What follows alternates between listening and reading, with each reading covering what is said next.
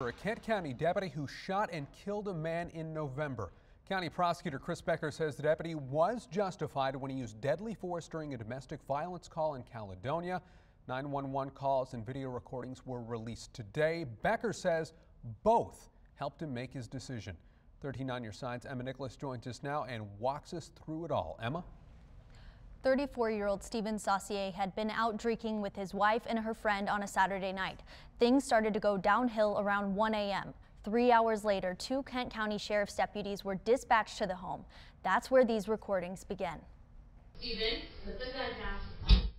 What transpired in these moments came after a series of 911 calls. In one of those calls, a seemingly belligerent Stephen Saucier tells dispatch he has a gun. You got a firearm in your hand? Yeah, you better get the f- here. By the time deputies reached Saucier's home, they had been told by dispatch that the homeowner was armed and ready to shoot. Deputy James Davis, the second deputy to approach the home, had a shotgun in hand.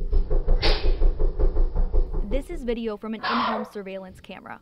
Please, please, put the gun down, put the gun down. Stephen, put the gun down.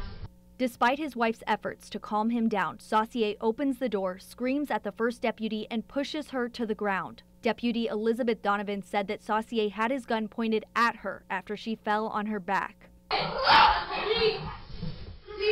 At this point, Deputy Davis steps in, yells at Saucier to show his hands, then shoots once, killing him.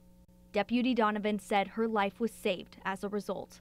Prosecutor Becker says the shooting was justified. Um, but I cannot, you know, charge the officer for behaving this way because he's got a split second decision um, to make. You know, I got to save the life of my fellow officer, and he made that choice, and I cannot say it was not in, uh, appropriate to make that choice.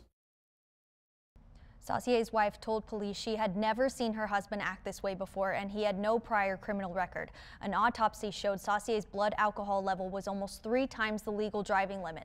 Becker says the gun Saucier was holding was loaded and ready to fire. Nick? Emma, thank you.